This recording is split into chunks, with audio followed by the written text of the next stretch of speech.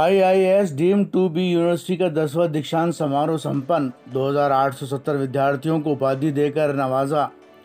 IIS university के APJ Abdul Kalam सभागार में दसवां दीक्षांत समारोह का आयोजन हुआ। कार्यक्रम के मुख्य अतिथि लोकसभा स्पीकर ओम बिरला रहे।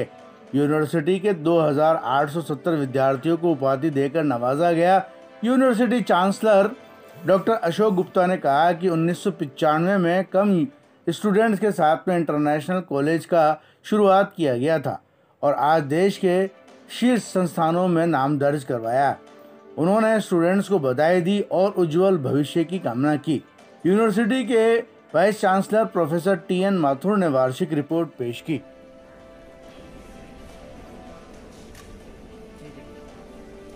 आईआईएस यूनिवर्सिटी के दसवें दीक्षांत समारोह में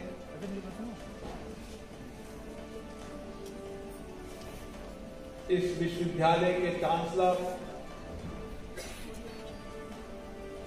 डॉक्टर अशोक गुप्ता जी, जिन्होंने शिक्षा जगत में एक नन्ना सा पौधा लगाया 1995 के अंदर छप्पन छात्राओं से आपने कॉलेज शुरू किया। और आज कॉलेज हो, यूनिवर्सिटी हो, मैनेजमेंट कोर्स हो, इन तमाम संस्थानों के माध्यम से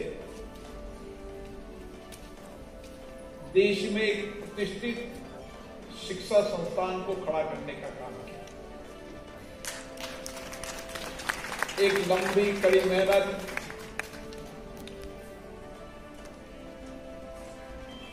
एक मन में लक्ष्य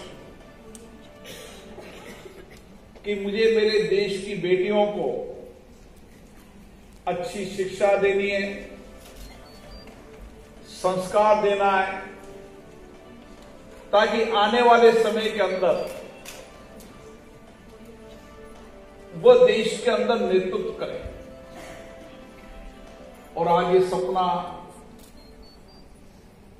उनका पूरा होता हुआ दिख रहा है। मेरा भी अशोक जी से बड़ा लंबा परिचय है, बहुत पुराना परिचय है। और इनके कॉलेज की ऐसी प्रतिष्ठा थी, अभी भी है।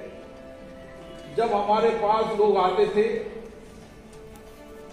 कि मैं आईसीजी कॉलेज में हमारी बेटियों का एडमिशन कराना।